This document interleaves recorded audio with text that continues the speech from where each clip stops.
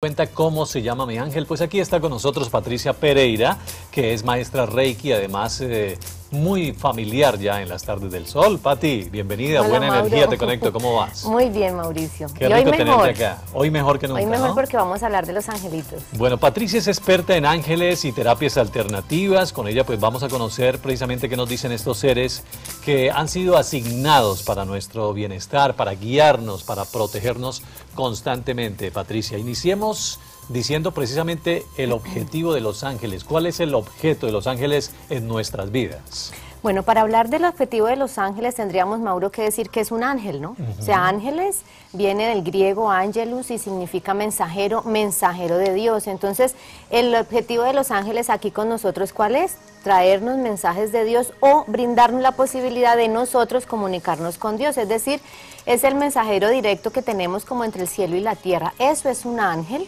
Y lo que viene a hacer con nosotros es a, cumplir esa labor, ayudarnos, a orientarnos para poder encontrar comunicación más fácil con Dios. Y si hablamos de Dios, independiente pues de todas las religiones y de las más importantes que nosotros tenemos de pronto en Occidente, como el judaísmo, el cristianismo, el islamismo, no solamente es ese Dios religioso que conocemos, sino que es algo universal. Y los ángeles son algo universal. Existen así tú creas, así tú seas cristiano, católico, judaico, todo, todo tipo de religiones abarcan el tema de los ángeles, pero sin importar tu creencia o tu fe en los ángeles, ellos están ahí. ¿Todos los seres humanos nacen con un angelito guardián o no? Sí.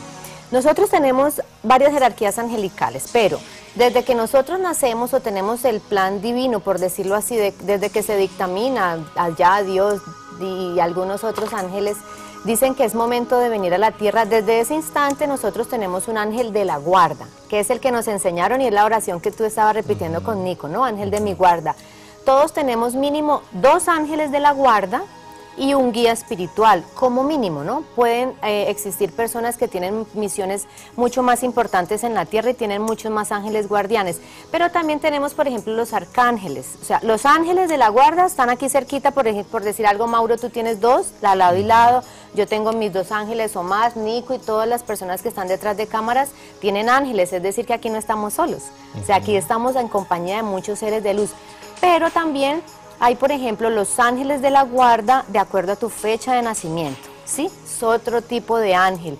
Y corresponde a los 72 ángeles cabalísticos, que existe un nombre que ha sido eh, descubierto, digámoslo así, a través de, de escritos muy antiguos, como por ejemplo la Biblia hebrea. Entonces, se dice que son 72 derivaciones del nombre de Dios y de ahí sacan los 72 nombres de los ángeles y corresponde, ahí se mezcla un poquito con el zodiaco, a cinco días del, del mes, o sea, cinco días del año corresponde un ángel de la guarda. Entonces ahí tenemos otro ángel de la guarda y también tenemos los arcángeles, que vamos a hablar de ellos porque también están muy cercanos a nosotros. Las otras mm, jerarquías están mucho más elevadas que los ángeles y los arcángeles, como los, los tronos, las dominaciones, los principados, los querubines, los serafines, los que nosotros hemos escuchado las virtudes. Muy bien. Y ellos están no más lejos de nosotros, sino que son más sutiles, o sea que no están aquí tan cerquita a nosotros. tan cerquita a nosotros. Bueno, Patricia, este tema es bien interesante, la gente está muy, muy atenta aquí en nuestro chat, está participando. La mayoría de las personas que se encuentran acá eh, creen en la existencia de los ángeles y precisamente por eso, Patricia, quieren saber cómo se deben comunicar. Miguel, por ejemplo, decía que si teníamos que tener una preparación espiritual, algún ritual, ¿cómo hace uno para comunicarse con su ángel? Bueno, Nico, yo podría contestarles que sí y no, o sea, a través de la experiencia.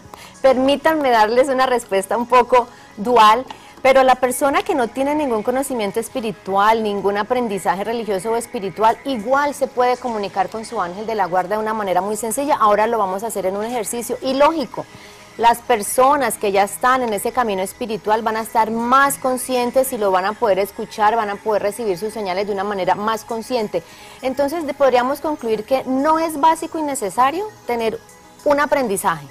Ya, el que nos esté viendo en casa, el que nos esté escuchando, el que nos esté viendo, ya mismo puede decidir comunicarse con su ángel de la guarda y todavía no ha hecho ningún curso. Pues esto me parece fantástico. Además veo aquí, Patricia Pereira, una oración bellísima y tengo una especie de kit, ¿no? Esta es una libreta para pensar qué es lo que vamos a pedirle a nuestro ángel guardián una oracioncita que incluye calendario por detrás y se la vamos a entregar a los televidentes que participen en el 524-3536. Recibimos inicialmente a la primera televidente que ya está conectada con nosotros. Viviana, muy buenas tardes del sol, ¿cómo vas? Buenas tardes, ¿cómo has estado? Pues muy bien, Viviana, mucho mejor ahora que nos acompañas. Te tengo una gran noticia, Viviana. Dime. Dime, dime que quiero muchas noticias buenísimas. Esta es la primera. Tienes ya este kit que te entregamos aquí en Tarde del Sol de Patricia Pereira para que te conectes de una manera más fácil con tus ángeles, ¿de acuerdo? Gracias. Eh, a ver, em, por motivo no pude decir mi apellido, Ajá. Eh, pero pues ahorita no, eh, antes de colgar ni quiero dar mi apellido para el regalo. Tranquila, tranquila. para felicitar a Nicole Ay, Viviana. bonita, hermosísima, me fascina esa ropa que tiene hoy. Ay, muchas gracias. Y además inteligente. Ah, sí, eso sí, sí, eh, para felicitar a Anita que no está en el estudio, pero espero que nos tenga buenas sorpresas. Claro. Para preguntarle, ay, perdón, Mauricio, a ti también, te felicito. Divina, Viviana. Muchas gracias, eh, Viviana. Eh, quiero preguntarle a la panelista, a doña Patricia, y quiero saber, o sea, de todo lo que son cosas de ángeles me encanta. O sea, quisiera tener la forma de cómo comunicar, saberlo hacer, porque no sé, la verdad no sé. Eh, uno, le enseña, uno le enseñaron de pronto a decir Padre nuestro que está en el cielo, o, lo que dijo ahora el ángel de mi guarda y compañía, pero uh haga cuenta que es algo repetitivo. No sé cómo comunicarme y quisiera saber a cuál es mi ángel. Y, y, y los ángeles de mis hijas. Tengo dos hijas, muy bien. fecha de nacimiento. Fecha de nacimiento. Empecemos entonces con la fecha de nacimiento de tus hijas para que Patricia te diga cuáles son los ángeles de ella. De Lina Marcela Franco, la fecha de nacimiento es el 12 de agosto de 1993. 12 de agosto de 1993. ¿Y? De Jennifer Morales. ¿Y Jennifer? Es del 12 de abril. 12 de, abril. ajá, de 1998.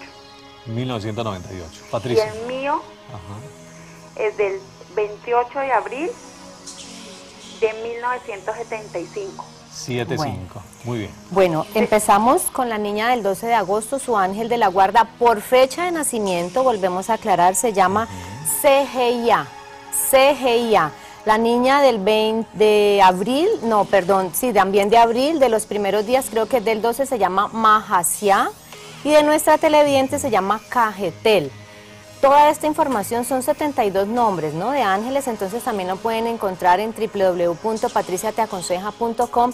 Hay un artículo que inclusive Nico lo está mirando, porque de pronto van a haber muchos televidentes que quieren saber el nombre de su ángel y no vamos a alcanzar a darle la, la, definición o la explicación. Correcto. Ahí está la página que la estamos viendo que es www.patriciateaconseja.com. Es bien importante porque como dice Patricia son 72 nombres y aquí aparece el listado según la fecha de nacimiento para que cada persona ingrese, vea su fecha y pues se dé cuenta cuál es su ángel. Algo bien importante Patricia, la gente sabe que los ángeles existen, muchas veces incluso se lo piden a Dios que por favor envíe sus ángeles para cuidarnos, para protegernos y Viviana decía, ¿cómo se logra digamos esa comunicación con ellos, ya hemos nombrado algunas formas, pero tal vez Patricia, ¿hay algún ritual, hay algo que uno podría hacer, una oración específica para uno comunicarse con ellos? Sí, Nico, vamos entonces a, empezar a trabajar en este tema de cómo me comunico con mi ángel de la guarda. Hay algo sencillísimo y es que debes reconocer y creer que existen. o sea, es lo primero, ¿no? Sí, si tú no es como cuando tú le pides al universo prosperidad, yo quiero un carro este año, pero si tú dentro de tu mente no crees en la prosperidad, no crees que te va a llegar porque yo soy de malas, porque a mí no me va a tocar, no te va a llegar el carro. Entonces tienes que empezar a creer y a reconocer que tu ángel de la guarda existe.